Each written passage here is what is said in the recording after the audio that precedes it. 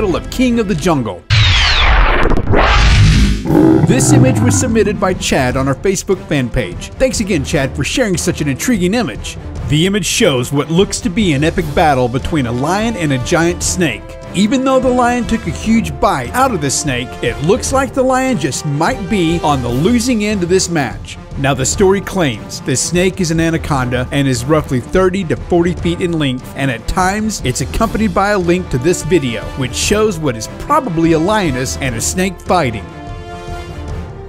To be perfectly blunt, I know absolutely nothing about snakes or lions, and wondered myself if anacondas and lions even lived remotely near each other. So I sat down and asked one of the smartest but most condescending women I know. No, not Angela, but Siri. And apparently the answer to that is Harry, darling, no, you fing idiot.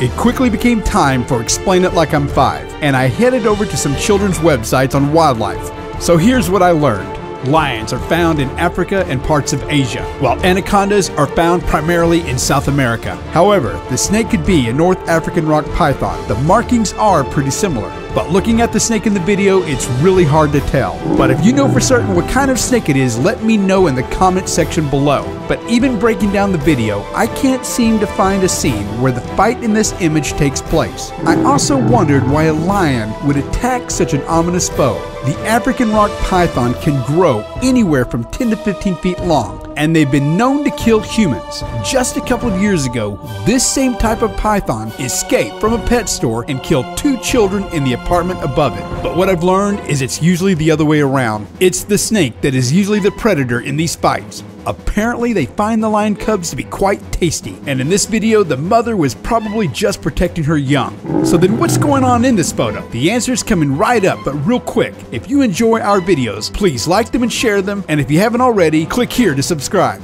During my investigation, I found the original photo, and how do I put this? Once you see it, the context becomes a lot clearer. Now, this image is fake, and a poorly done fake at that, and has absolutely nothing to do with this video. The original image of the lion is actually one that was taken during some, um, how do you say, private sexy time with mama. And what you thought was a roar is actually a lion's O face.